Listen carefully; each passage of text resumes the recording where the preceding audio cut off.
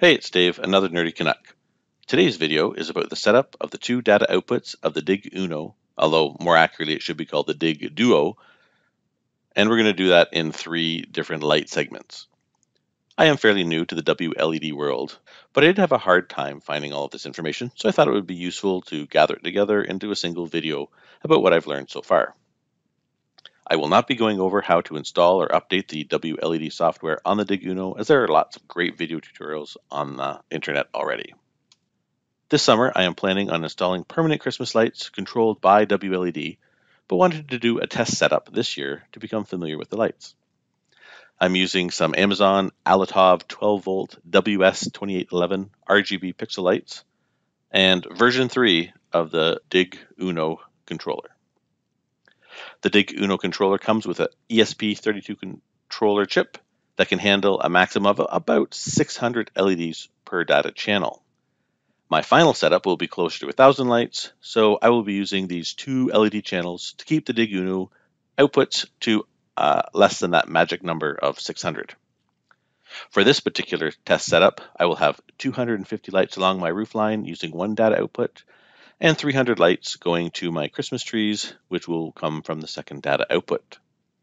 A simple schematic of my system looks like this. So I have a 12 volt power supply going to the Dig Uno, and then I connect my roofline lights from the power output from there, as well as the data, obviously, and I have power injection after about 150 LEDs. I then added my two trees with power injection between them I didn't notice any dimmer pixels with this type of power injection. It's one of the benefits of the 12 volt LEDs. The furthest pixel uh, is only 125 pixels from an injection point, and that's located in about the middle of my big Christmas tree. This is what the Dig Uno chip actually looks like. You can pull the controller portion off. You need to do that in order to access the screws to connect the wires. It also allows you to see the labels a little bit clearer on the controller. Since my LEDs are 12 volt, I will be supplying 12 volt DC to the Dig Uno in the positive and negative terminals. This uh, filtered 12 volt signal is passed through to the LEDs to power them. The Dig Uno automatically steps the voltage down to 5 volts for the ESP32 controller and send it, sends out a boosted data signal along each of the data outputs. I will be having LED1, which is GPIO 16, signal going to the trees, and LED2 or GPIO 3 going to the roof line. The 12 volt power supply from the Dig Uno is currently supplying power and the data signal, and then I'm using raw power directly from my power supply for power injection. I don't know if that's a great idea or if there, it matters or not, but if you have any knowledge or experience with that, please let me know in the comments below. Here's a quick video of the actual setup of what it looks like. It is temporary, so please forgive the sloppiness. I have the electronics in an old toolbox on the porch. The Dig Uno is supplied with 12 volts, and it sends that 12 volts out through two different lines, one to each set of lights, one for the roof and one for the Christmas trees. Obviously, each one gets its own data cable. The string of lights for the Christmas tree starts at the bottom of the large tree and winds towards the top. I then connect a wire to carry the signal down the center of the tree and over to the little tree, and I do the power injection right here between the trees. The roofline string runs from the Dig Uno through the garden and up the downspout to the first set of lights. They run along the roof, and uh, I believe I got three strings of 50 along the roof, and then uh, another two strings of 50 for a total of 250, and there's power injection that runs back to the 12 volt power supply. Okay, now let's log into the controller. Uh, you can find the IP address of your controller on your app. I'll uh, put up a photo here of your app. It just gives you the IP address. Uh, once you have it, you type in the address to your URL bar, and poof, you come to your controller. Now, by default, it's going to be showing you the app view. However, because I'm looking at it on a PC, I'm going to go to PC mode. And this is handy because it allows you to see all of the different parts at the same time. If you'd like me to make a video about how I set up my connection to the controller, let me know in the comments below. Now that we can access the controller, let's set up our LEDs. So first of all, we have to go to the config page. And under LED preferences, we have to uh, set up our LED hardware. Now you'll notice that up at the top here we have uh, 550 LEDs that I have already set up. I do not have the enable automatic brightness limiter checked. Under the hardware setup, you can see that I have my two data outputs. I'm using WS2811 RGB LEDs. And the uh, setup for my roof line, I have 250 LEDs and they're connected to GPIO 3.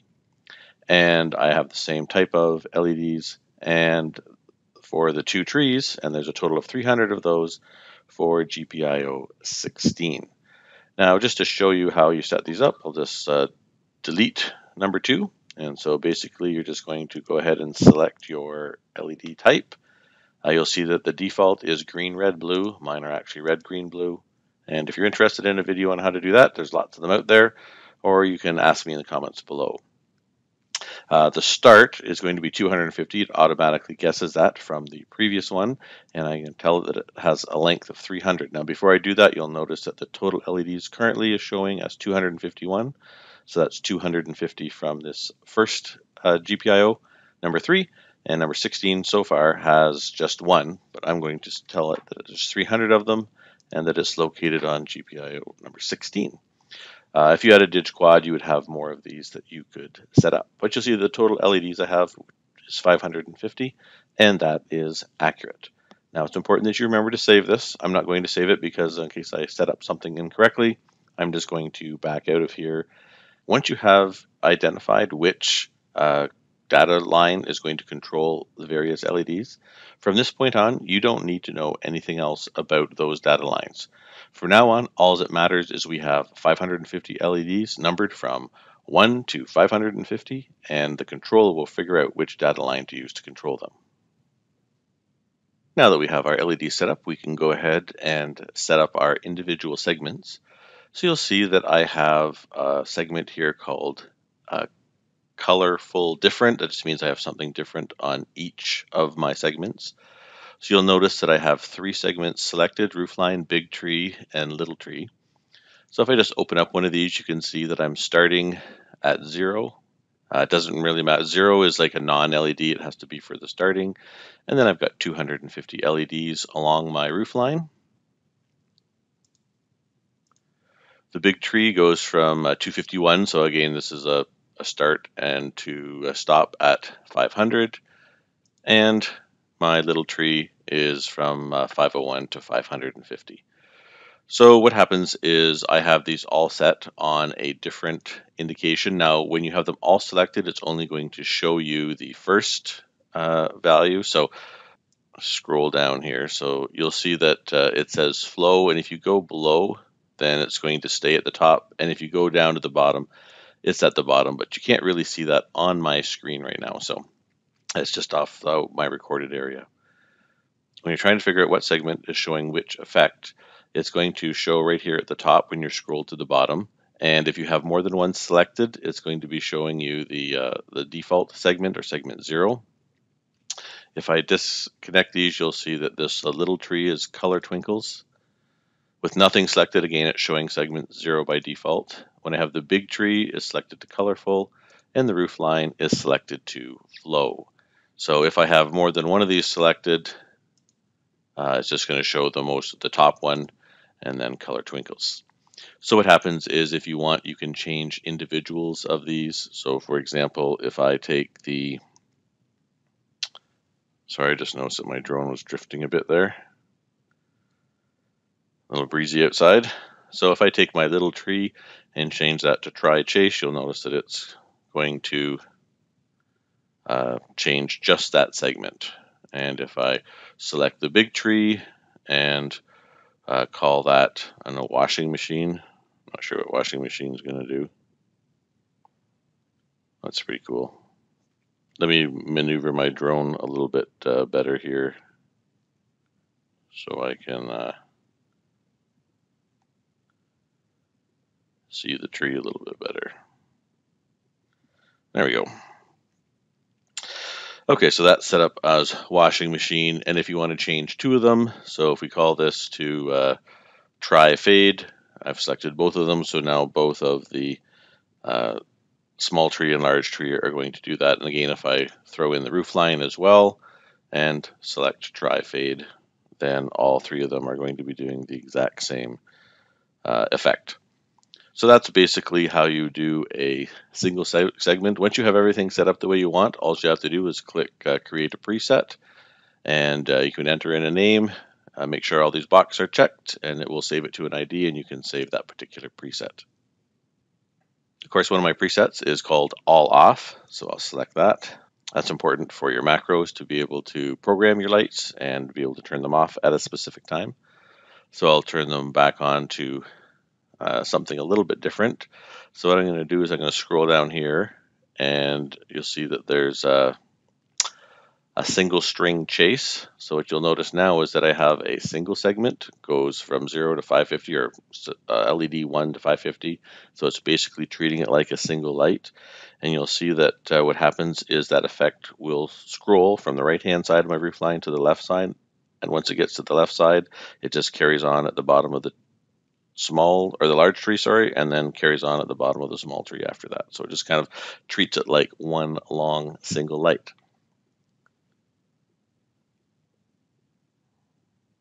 Uh, you, if you want, you can choose uh, to only have a single one. I've called this roof line, and it's just LED 0 to 250, and it doesn't have the other LEDs. So you can see when I select that, that the roof line is doing the selected effect, but the trees are turned off.